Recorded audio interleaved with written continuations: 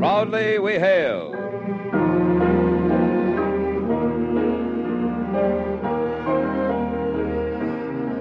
And now another Proudly We Hail, one of radio's outstanding dramatic half hours, starring Lee Tracy and presented transcribed by your Army and your Air Force.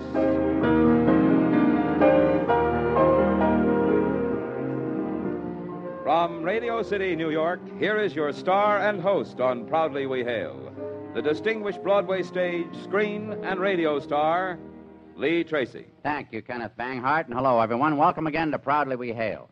I believe this program is going to be one of our finest. A combination of a tender, moving story together with some truly beautiful music. We'll begin our play in just a moment after a word from Ken Banghart. The United States Army and the United States Air Force urgently need young men and young women. If you volunteer right away, you'll have the choice of many jobs now open. Get full details at your nearest U.S. Army and U.S. Air Force recruiting station. Be a volunteer. Serve yourself and your country now. And now, Lee, our play. Ken, this story appealed to me the moment I first read the script. It's a story of a beautiful girl who creates beautiful music. And she, well, Ken, let's begin. With our star Lee Tracy in the role of David, your Army and your Air Force present the proudly we hail production of Concerto.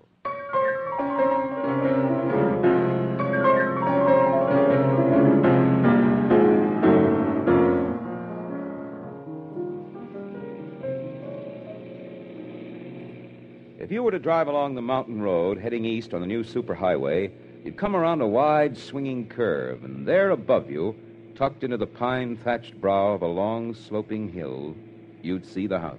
Here the wind moves through fir and hemlock. They bow their heads and whisper at your approach. Behind the hill, the mountain towers, and above it, thunderheads mutter ominously. The man who built this place made it a part of the scenery, not an intruder on it. Flowers and shrubs border its sides. Morning glories and rambler roses grow in profusion along its walls. A single glass window accounts for nearly half the length of the house. And from behind that window comes the sound of a piano. Someone is playing music, beautiful and haunting. Who lives here? Let us enter and find out.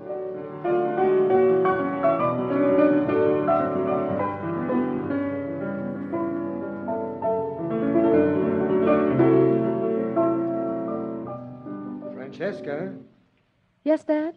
I'm sorry to interrupt your work, but are you sure you'll be all right without me? Oh, of course I'll be all right. Anything you'd like me to get you? You can check and see if those books I ordered have come. Oh? What books? Well, I thought my library could stand some additions. I've just about worn the pages off of some of those things. Oh, well, I'll check and see if they've arrived. Goodbye, Dr. Stewart. Have a good time.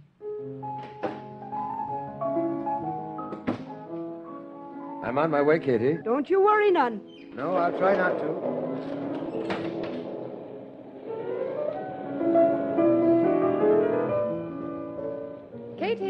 Beautiful Katie. Tis me very own sweet self that's here. Sounds like a big storm coming up. I can feel it in the air. you can indeed. We're going to get it all right. Will you see that all the windows are closed, Katie? That I will. And aren't you thinking 'tis time you were taking yourself a bit of a rest, working that hard all the afternoon? Oh, have I been, Katie? Mhm. Funny how quickly time goes when we're busy. Let's hear what the radio has to offer. I'll turn it on. Would you like to hear something in particular? No, I'll settle for anything. Will be brought up for a vote first thing tomorrow. Now, here's more on the prison break. The bulletin just in says the two men made their getaway in a stolen car.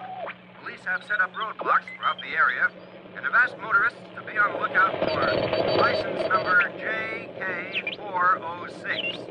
The two men, both serving life terms, shot and killed the guard earlier this afternoon while working in a stone quarry outside the prison walls. The prisoners, Stanley Wolf and David Wilson, Turn it off, Katie. It's too much static and nothing very pleasant to hear anyway. I heard all about it earlier. A couple of devils they must be. And you know that prison is just over the other side of this valley, only 20 miles away. well, don't worry about it. The police will catch them before they get far. Yeah, they'd better. I don't like murderers running around loose. Don't worry, Katie. I'll protect you. Now, who could be calling us? Maybe Mr. Stockton, that manager fella. I, uh, I know a good way to find out. You stay right there. I'll answer it.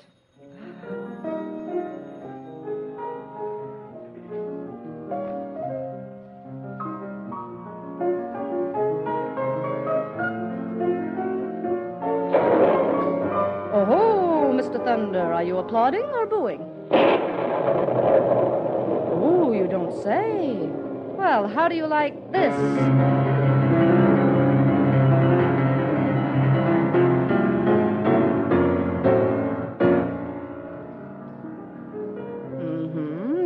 Reserve judgment. Well, that's kind of you. What am I going to do? What a terrible thing. Oh, my poor sister Nellie. She. Oh, dear, oh, dear. What can Katie, Katie, get a hold of yourself. Now, what's the trouble? What happened to Nellie? She. She and Jack, they've been in an automobile accident. Nellie is in the hospital, hurt bad. Oh, Katie, that's awful. What hospital is it? Midland. That was Jack. He's all banged up, too. Oh, what can I Oh, do? well, first sit down and try to calm down. Well, then you'd better take the station wagon and drive to Midland, and you'd better plan to spend the night there. Jack won't be much help, and you'll have to take care of their children. And leave you here all alone. And why not? I'm quite capable of taking care of myself, and Dad will be here later. I, I, I just couldn't be doing this to you. The storm's coming, and. Well, suppose. Suppose nothing. Now, do you think I mind a storm or being alone? Now, you can leave me some supper on a tray, and I'll sit right here and work. No, no, I'll not be leaving you. Listen, Katie, that's very kind and very loyal of you, but this is an emergency. And you'll do a lot more good taking care of Jack and the children. I'm not an invalid or a baby.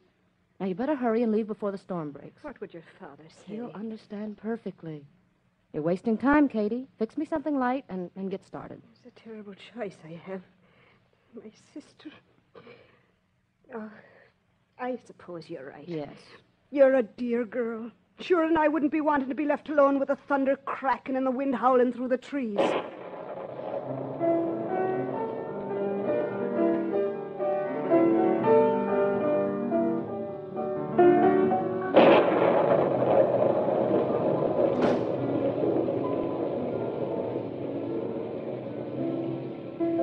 Who, who's there? I said, who's there? No need for alarm. Who, are you? What do you want? Question one, let's just say I'm a lonely wayfarer, a long way from home. Question two, I want to get out of the storm Why do you stand over there? because it's dark over here. This way, you won't be so frightened. I'm not frightened. And what does the dark have to do with it? Oh, most people who see my face can't bear a second look unless they can't believe the first. What's the matter with your face? Well, let's just say it's, it's a kind of a mess, and let it go at that. What difference does that make? A person can't help how he looks. You're so understanding. And a person can't help how other people react to the way he looks. Well, since you've decided to stay until the storm is over, you might as well sit down. You're very, very kind. Are you here all alone? Yes. Would you mind checking and seeing if the windows are all shut? Do you mind if I make an observation? I'm sure you'd make it whether I minded or not. You're right. You're a very pretty and a very lazy woman. Such flattery. It's quite a storm. Quite a view, too. Look at the way the lightning snakes across the valley. I'm surprised you don't insist upon having all the lights on. Aren't you afraid of being in the dark with a strange man? Sometimes I'm afraid of being in the dark. But I'm not afraid of you or any man. Ha ha. Bravo. What's so funny? if you're not afraid of me, why do you keep looking over there to the chair? It couldn't be that if you saw me clearly, you. Or did. Did you see my face in a lightning flash? No, I I haven't seen your face. I just thought you were sitting over there. Look, it's not that dark in here. From here, it's dark everywhere. What do you mean? You're not very observing, are you? Haven't you noticed? I'm blind. You. You can't see at all? Not with my eyes. Well, how is it you're all alone? You can't live here all by yourself. No, there's my father and Katie, our housekeeper. Dad had to go out, and Katie's sister was in an automobile accident, so I let her go home. Doesn't it bother you to be alone? Why should it? Who would want to harm me? Besides, I'm not really alone. What? What do you mean? Who's here beside us? Now it's you who are frightened. I meant I have this. And I have my books and the radio. What's that you're playing? A concerto I'm trying to compose. Well, how you, how, how, how can you do that when, when you can't see? My fingers aren't blind, nor my ears, nor my mind. Have you always been blind? For the last ten years, No chance to see again? none. Ah, it must be tough. You mind if I turn on the radio? You'll get nothing but static. I tried it earlier. You didn't happen to hear any news, did you? Only about the two men who escaped from prison. Oh, What about the two men who escaped from prison? nothing. I, I couldn't hear very much of it. I, You don't say. what did you say your name was? I didn't say. But you can call me David.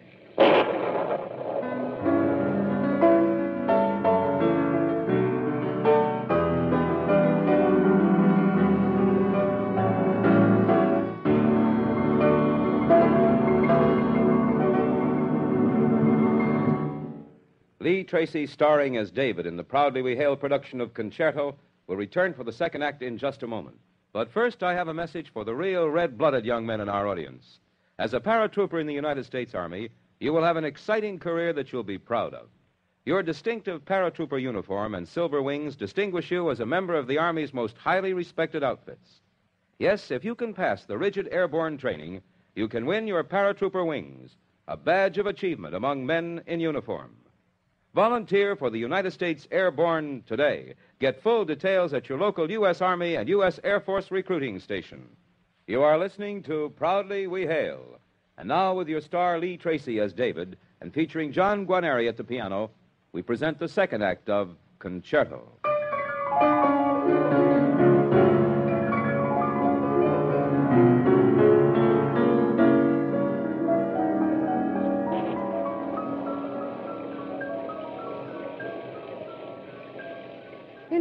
Seem different somehow.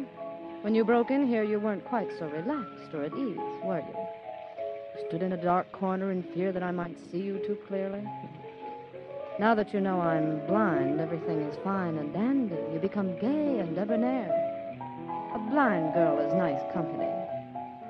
Completely helpless. She can't do you a bit of harm. You even praise her concerto. Look, take it easy.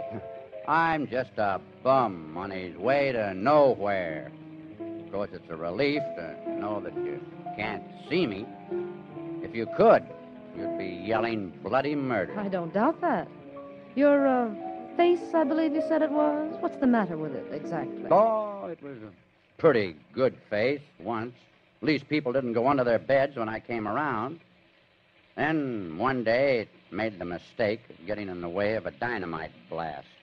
One of those things that wasn't supposed to go off, but it did. When the smoke cleared away, I didn't look very pretty. You've uh, heard of plastic surgery. You've heard of money. You mean the people you were working for wouldn't. It happened pay- in South America. The Company took care of all the doctor bills, but there wasn't anyone around who knew how to put a face back together. Let me feel your face. What? What, what do you mean? I want to see for myself. I can see with my fingers. You can go to the devil. Yours is a tale that grips my heart, Mr. Uh, Adams, I think you said it was.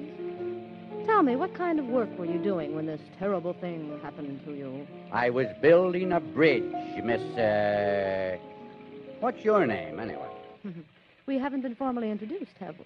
Forgive me. Most of my guests usually know who I am before they come to call. We've always felt it was a good basis to start on. My name is Francesca Stewart.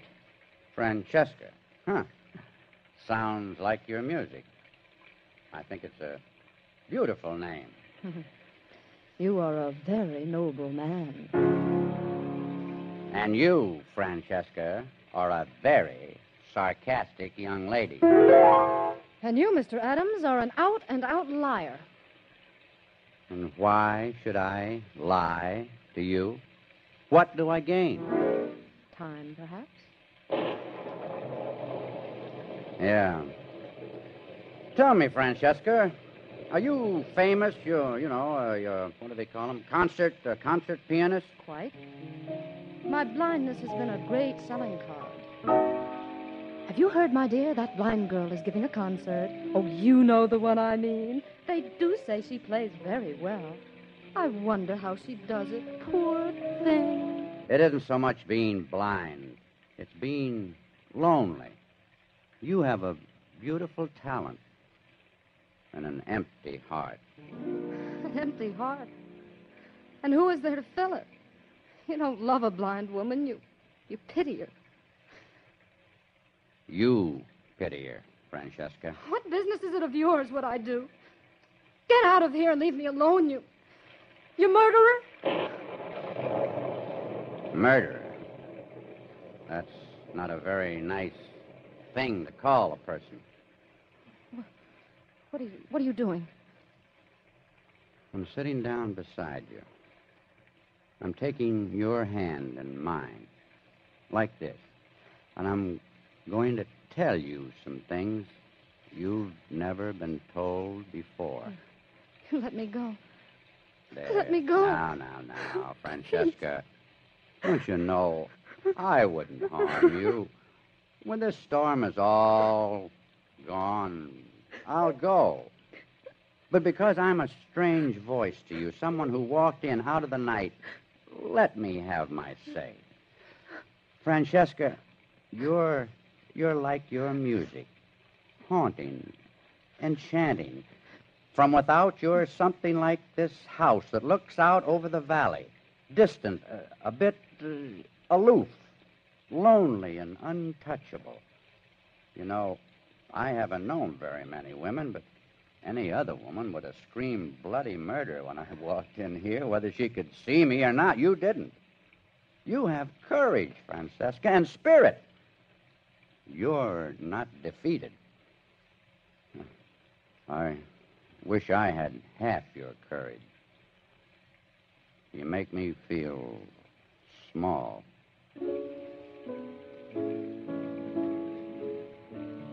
If I had a life to offer, you're the kind of a woman I'd offer it to. But I have nothing.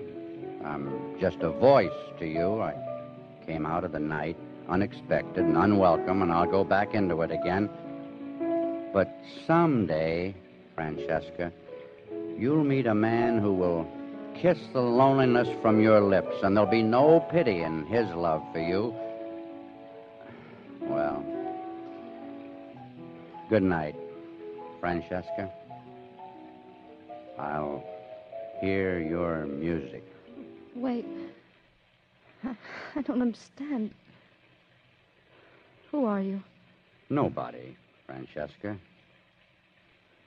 Nobody at all. But you. Why did you say those things to me? No one ever said such things to me before. Give them a chance. They will. David, tell me the truth. Are you. What's the matter? I hear someone coming. I'll duck out the back way. Goodbye, Francesca. David, wait. Wait, don't go. David? David? No, it ain't David, baby. They've already got David. They ain't gonna get me. Who, who? Never mind who. Just sit down there and shut up. Who's here beside you? I said who's here beside you? You told me to shut up. Oh, wanna be cute, huh? now, who's here beside you? No, nobody. Had better not be. This little thing in my hand shoots real bullets. You, you get out of this house. real wildcat, ain't you? If you don't behave, I'll get real tough. Help! Help! up! Oh. You just don't learn, do you? Let, let go of me, you. Just call me Stan, baby. Stan Wolf. Just a wolf at heart. Help! Help! Oh, don't fight me, will you, you Come little on, thing? go. Francesca, what's the matter? Why, you. David. David, where are you? Over here. Oh, Oh. Here.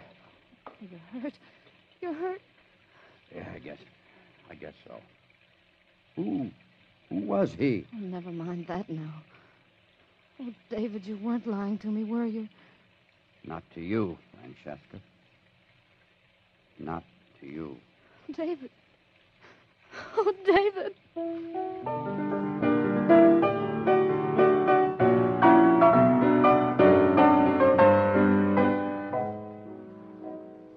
Young fellow, how do you feel today? Fine, Doc. Almost as good as new. You're rugged.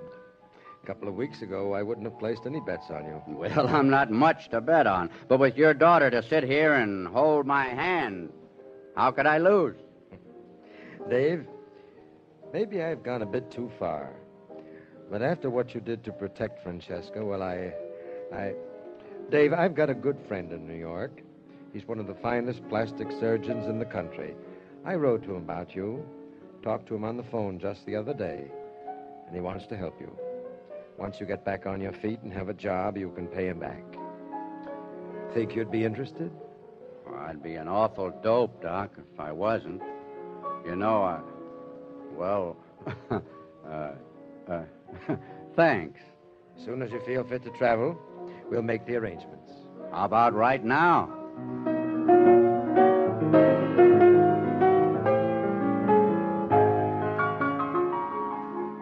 There now, Mr. Adams. I think we've got everything. Sure, and you know, Katie, old girl, you're after being the apple of me eye. Go on with you now. Any man who'd risk his own neck for my Francesca and help catch a murdering devil. Sure, and you've got a friend in Katie O'Hara. You know, when you said your name was David, the poor child thought. Just glad that, that I am to be having your friendship, me lovely Colleen. and remember, not every David in the world is serving time in prison. Are you sure your name is Adams? It wouldn't be O'Leary now. Oh, Adams, Katie. yeah, oh, Adams. Well, you tell that doctor in New York when he gives you a new face to put a touch of Irish. Ha! I'll do that, Katie. Eh, I'd better be getting back to my kitchen. Goodbye, Katie. And thanks for everything. Goodbye. And luck go with you. Come back soon. Real soon.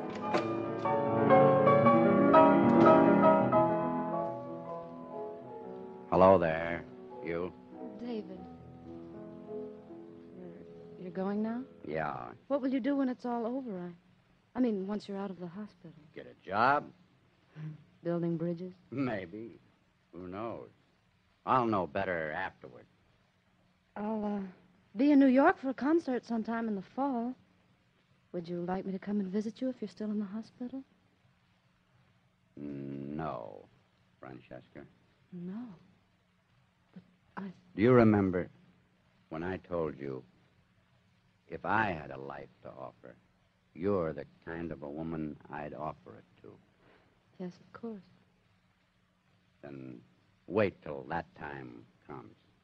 I don't know how long it'll be, but one day I'll come back here and we'll talk about it then. If that's the way you want it, David. Yeah, that's that's the only way it can be. All right. And now I, I've got to go. David. Would. Would you kiss some of the loneliness from my lips before you go? Shaska.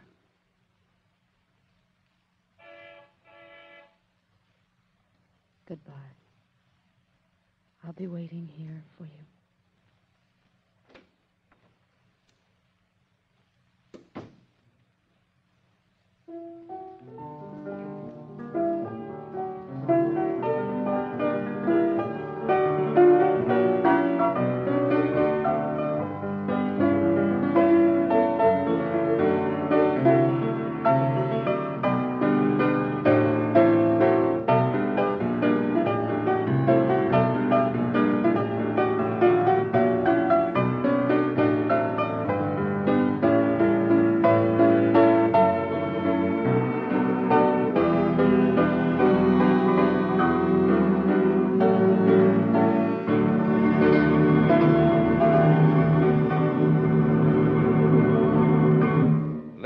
Sure I speak for our audience when I congratulate you on a great performance.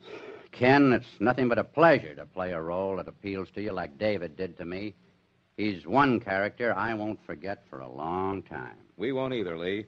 And I know you'll join us in our thanks to our maestro, John Guarnieri, for his inspiring concerto, composed especially for this program. Lee Tracy will be back with a word about next week's program in just a moment after this message. Young men and young women throughout America can be of real service to their country serving in the United States Army. By enlisting now, they have a choice of several branches of service. If a young man volunteers for infantry, he'll receive expert training in many fields. He'll learn about motor mechanics, intelligence, communications, and all about modern weapons. For the tops in service, he has the opportunity now to become a paratrooper. Find out all about the infantry and other branches of the Army at your nearest U.S. Army and U.S. Air Force recruiting station. Volunteer today.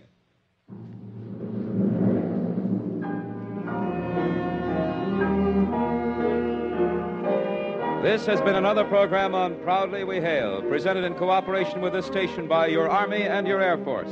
Proudly We Hail stars Lee Tracy. Supporting Mr. Tracy in the cast were Helen Christian, Joe DeSantis, Miriam Wolfe, Jack Jason, and Bill Lipton. Concerto was written by DeWitt Kopp. The music was composed and conducted by John Guarnieri. Proudly We Hail is directed by Charles Wilkes. This is Kenneth Banghart speaking, and here again is your host and star, Lee Tracy. We look forward to your being with us next week for another Proudly We Hail program. It's entitled Sins of the Fathers. It's a gripping story about one of the major social problems of today the problem of what to do about sons of criminals. I'm sure you'll like it. Goodbye.